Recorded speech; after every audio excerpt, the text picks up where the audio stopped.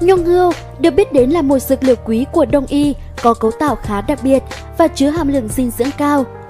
Nhung hươu tươi là chiếc xương non của những chú hươu gồm các mô xương bên trong, các mạch máu nhỏ và lớp da bao phủ bên ngoài. Chúng thường được thu hoạch vào mùa xuân. Y học thường dùng nhung hươu để hạ huyết áp, chống co giật, bồi bổ gân cốt, sinh tinh, dưỡng huyết, tăng cường sinh lý. Chính bởi những công dụng tuyệt vời của nhung hươu mà việc tìm mua không hề đơn giản. Để đáp ứng cho nhu cầu thực tiễn của quý khách hàng, Hưu Nai Trâm Châu nhanh chóng ra đời. Chúng tôi hân hạnh mang đến cho khách hàng những sản phẩm nhung hươu tươi, mang giá trị tinh túy nhất, chất lượng tốt nhất, phân phối đến 63 tỉnh thành trên cả nước, phục vụ cho nhu cầu bồi bổ cơ thể và nâng cao sức khỏe cho người tiêu dùng. Bên cạnh đó, chúng tôi còn chuyên cung cấp con giống hươu nai, nhung hươu, nhung nai và thịt hươu nai. Tòa lạc tại ấp 3, xã Hiếu Liêm, huyện Vĩnh Cửu, Đồng Nai.